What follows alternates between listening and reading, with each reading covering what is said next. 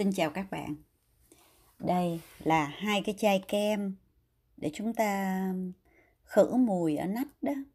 Hôm bữa CC có làm một cái video này rồi ha, cho nên giờ CC nó ngắn gọn thôi. Cái chai này không bao giờ CC thấy on sale. Chai trắng này cũng không bao giờ thấy on sale. Cùng hiệu các bạn ha. Nhưng mà cái này là green tea, trà xanh. Còn cái này là một cái mùi hoa khác.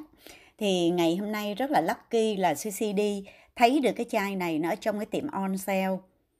Bây giờ không có receipt, CC không có biết là bao nhiêu nhưng mà CC nhớ rất là rẻ. Mà CC rất là ngạc nhiên luôn thì chạy ra hỏi thì người ta nói là tại vì có một chai cho nên là chắc là họ cũng muốn bán hay sao đó các bạn. Bạn nào muốn mua liên lạc với anh Sa 098 257 1934. Rồi CC xin được tạm ngừng video ở đây. Kính chúc cả nhà một ngày mới vui vẻ bình an và hạnh phúc. Bye bye.